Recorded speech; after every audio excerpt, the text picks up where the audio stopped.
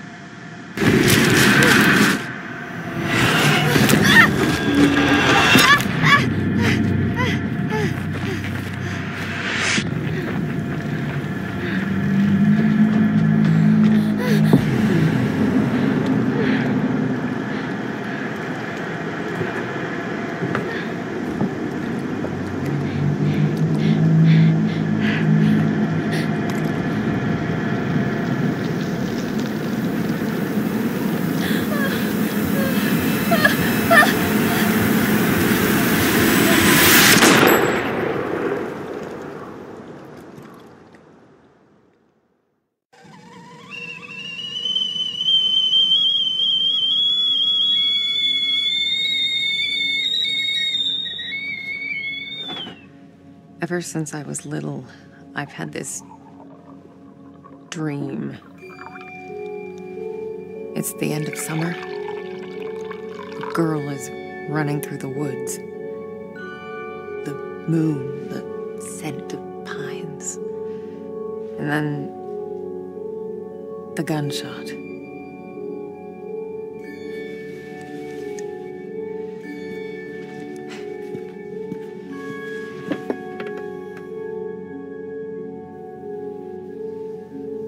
It always felt so real. The blood on my cheek, the cold sweat running down my skin. I'd managed to convince myself it really happened.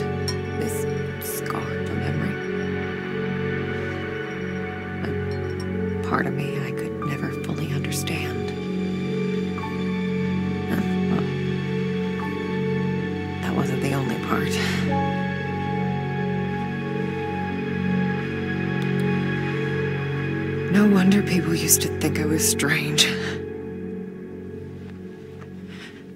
If they only knew.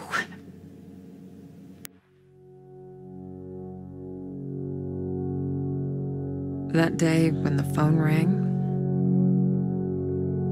it was the hardest day of my life.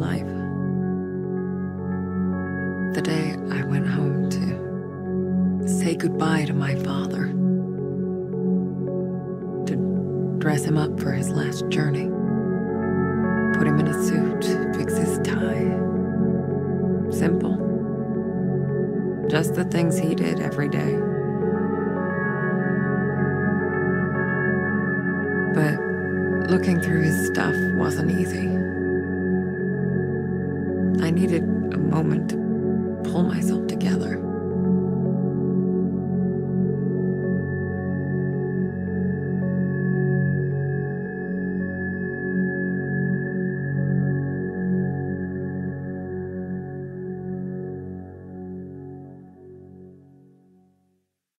I was almost ready. I just had to find his special tie clip.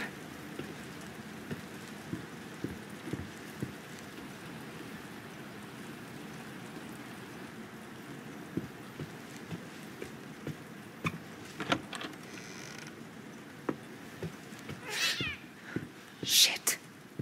Yeah. Nice to see you too.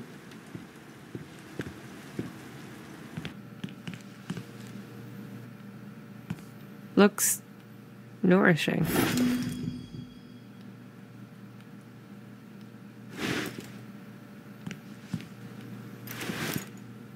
Here you go. What's your face? Glad to see you're still kicking around.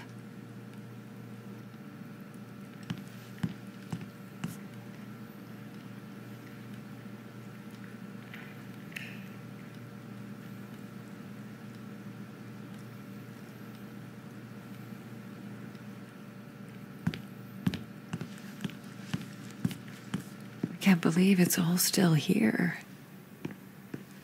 Oh, Jack.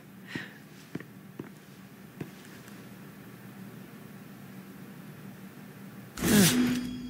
I guess I forgot about this one. I can do it now.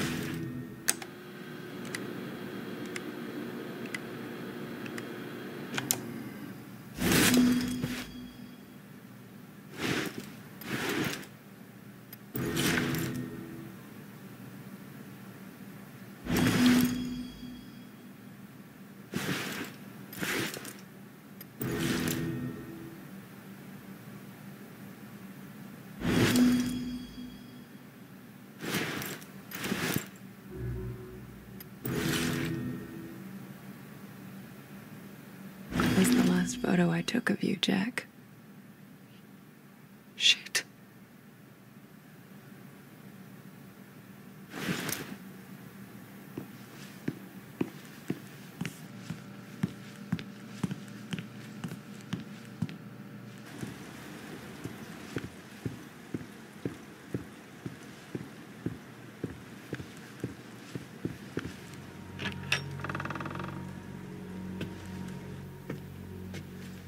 Weird to be back in my old room.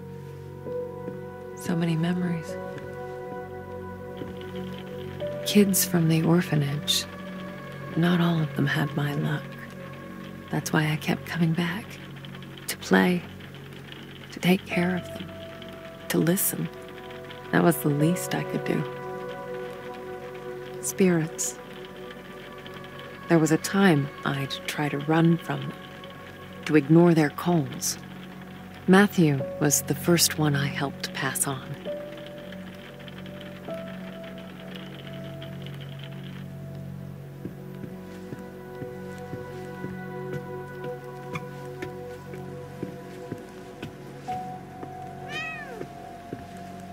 Jack's room. It's like he never.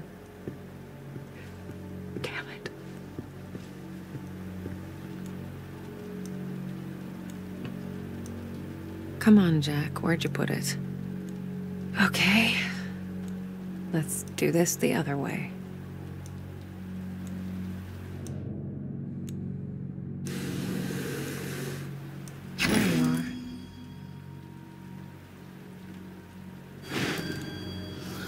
Okay, I think that's it. Jack's waiting downstairs. Time to say goodbye.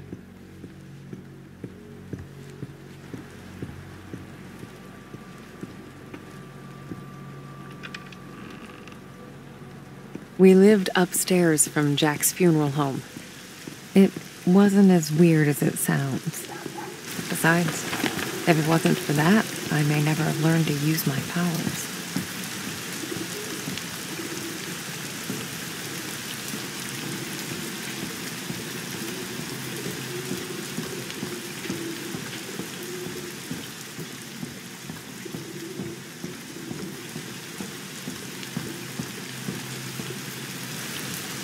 Jack taught me to accept my condition. Of all my foster parents, he was the only one who saw it as a gift and not a curse.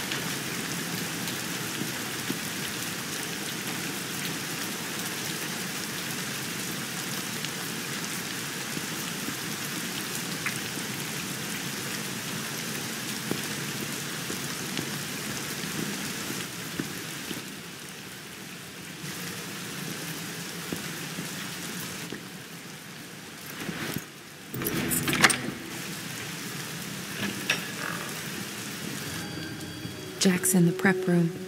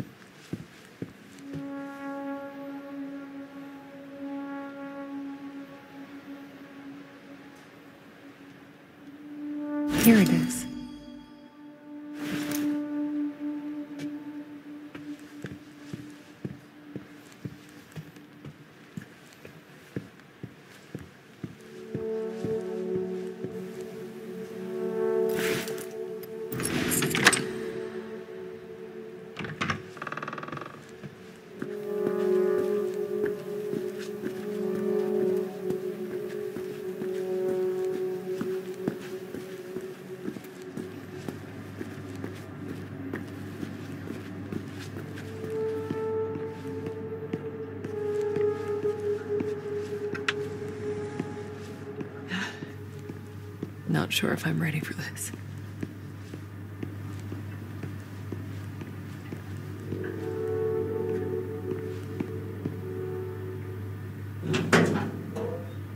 Hey, Jack.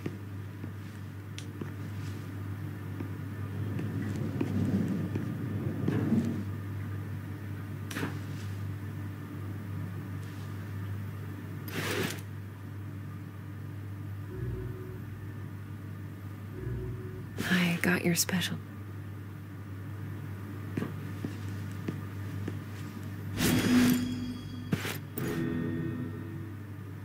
Snazzy. You wouldn't have it any other way.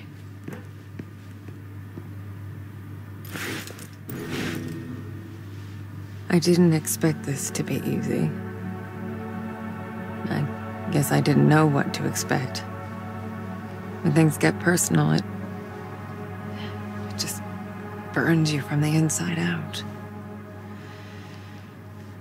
There. I guess you're ready. But am I?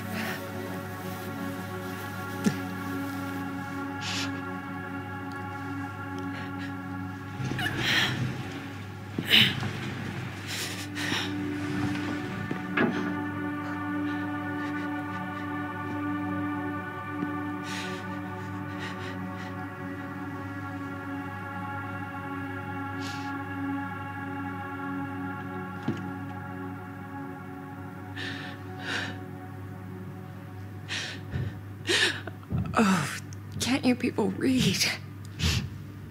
The sign says closed.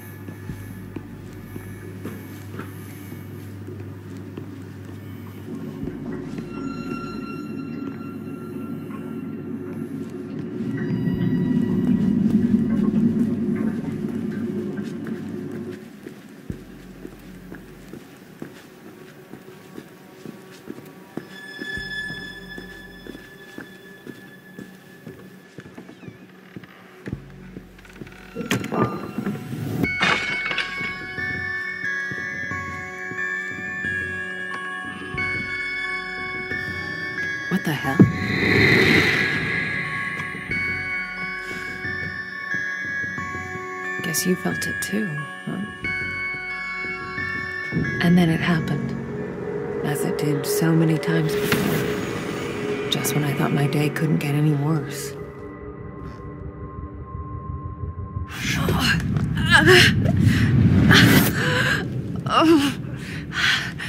Oh, where is that darn notebook? I'm gonna be late. I need to find that. Marianne? Oh, oh. Marianne, are, are you. Are you crying, my child? I.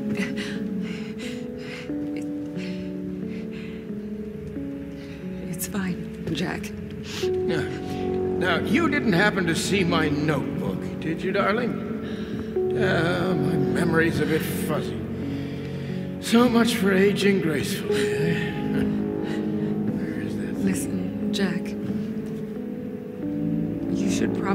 Some rest. Forget the notebook.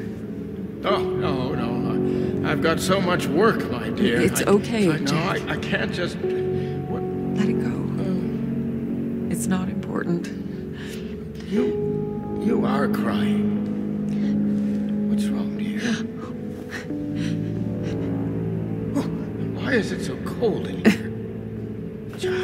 Where is that notebook? Hmm? It's okay,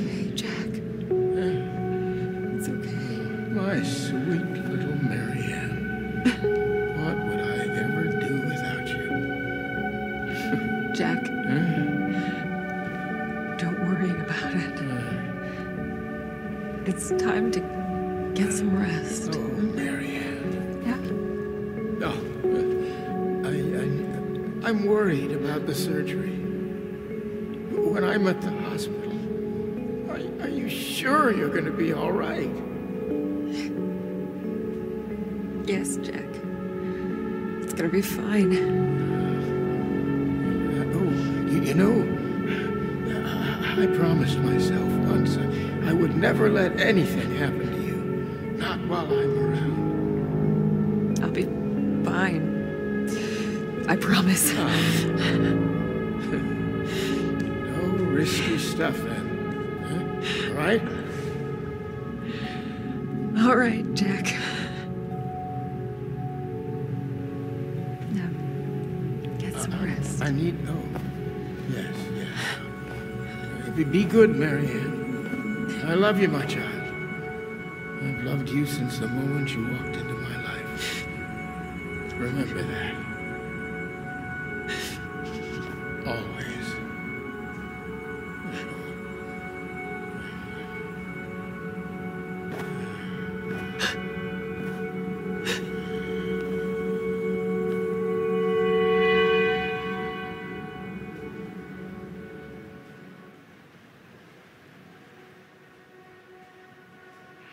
Most people would give anything to have that opportunity.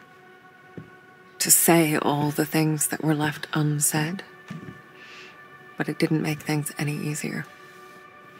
I could help a thousand souls cross over, but when it came to Jack, it still hurt like hell. I love you too, Daddy.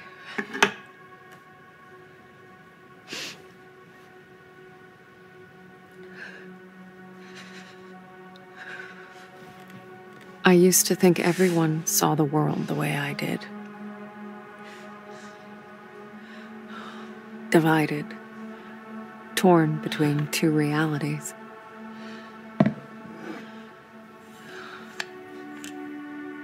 But no, I was the only one.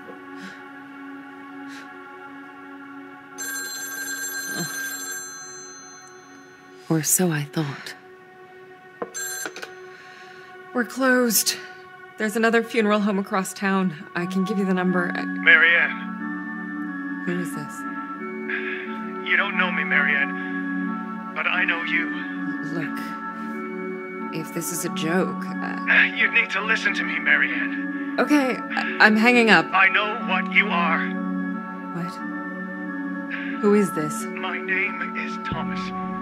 I need your help. Uh, listen, if that's all you've got, I'm. No, Uh. there's more.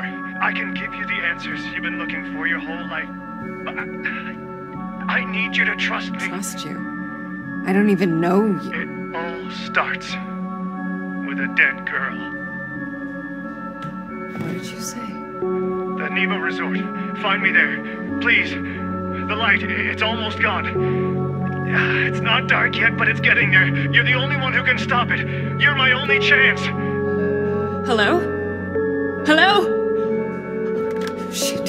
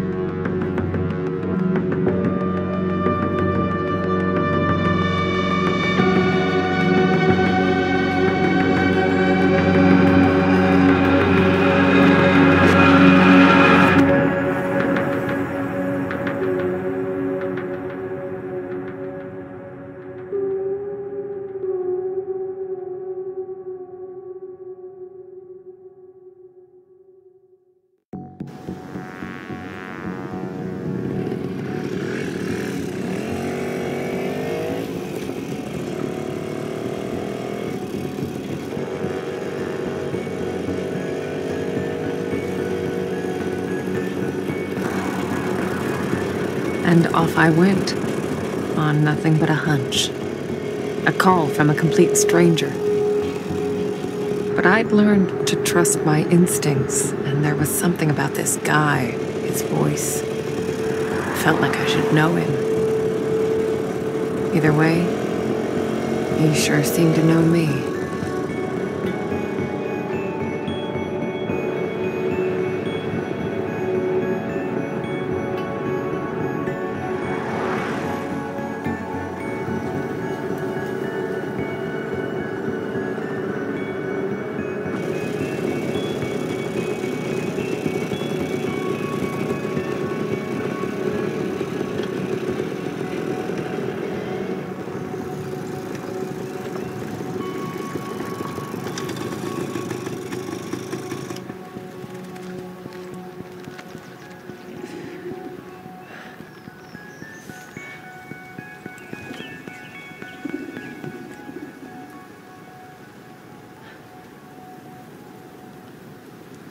The Niwa Workers Resort. Right off the bat, I could feel there was something off about that place.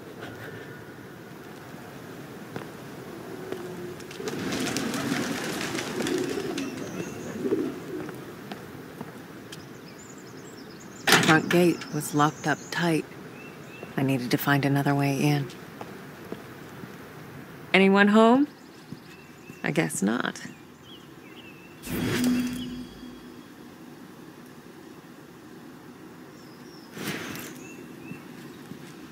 What the? Hello? Thomas?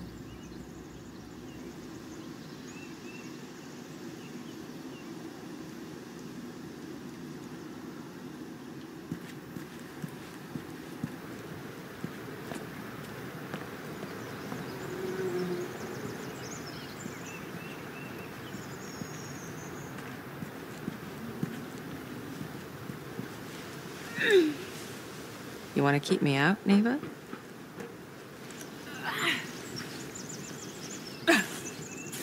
We're gonna have to do better than that. Not a whole lot of people knew about Niwa. It used to be a government owned vacation resort. Until one day it just stopped. And so an urban legend was born the Niwa Massacre. The details were always fuzzy. Crazed workers, ancient curses. You know, the usual.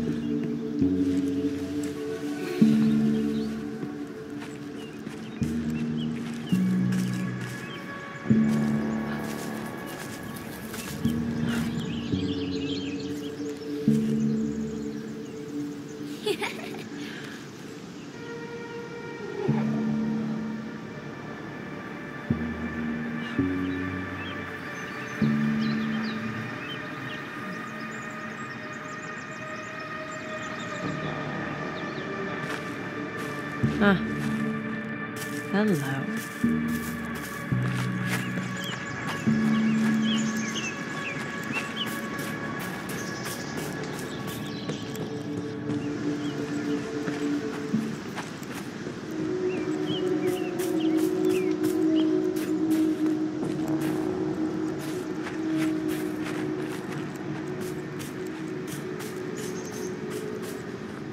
What's this?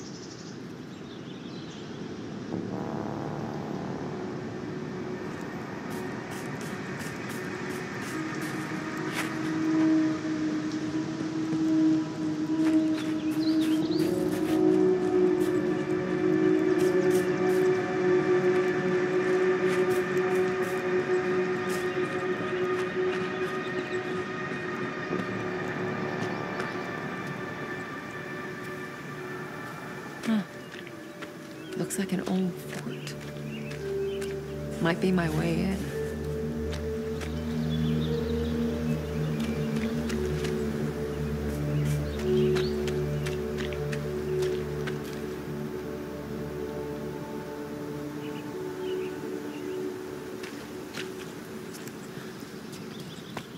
Something happened here.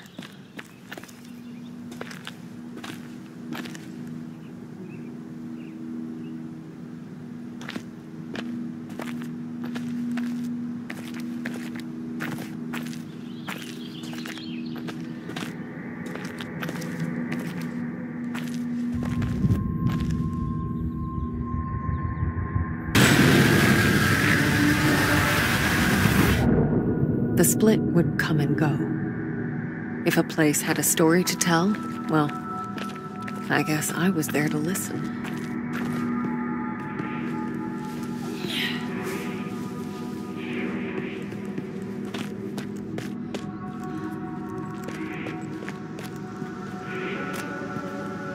Yeah, I'm not getting through here.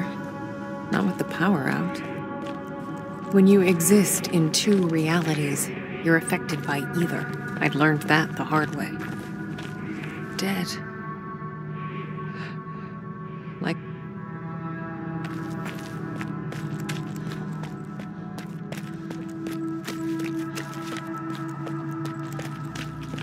The place felt old and soaked in misery. Figures, I guess. A thousand years of history doesn't just happen, it's paid for. But even in the deepest darkness, light can linger. Lonely, fragile, waiting for someone to embrace it. As I absorbed the energy, I wondered who it was that left it behind. A dying soldier whispering the name of his beloved? Or maybe just glad to be done with this world.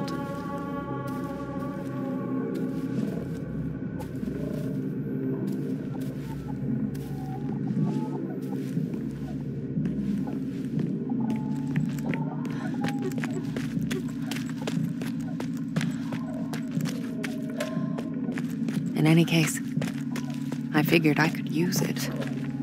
Energy's energy, right? Oh, so that worked.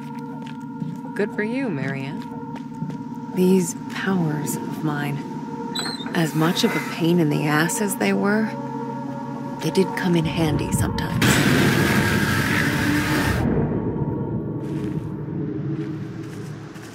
So there I was, existing in two worlds, but never really living in either.